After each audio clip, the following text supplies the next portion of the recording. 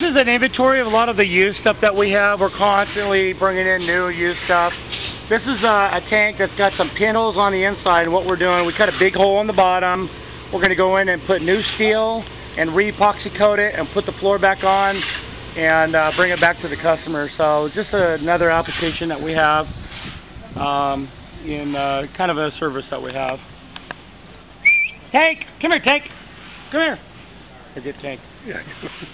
This is Tank. Tank! Come here, Tank! He's uh, our shop mascot. His name is Tank. Very appropriate for a tank manufacturing company. Tank! There goes Tank.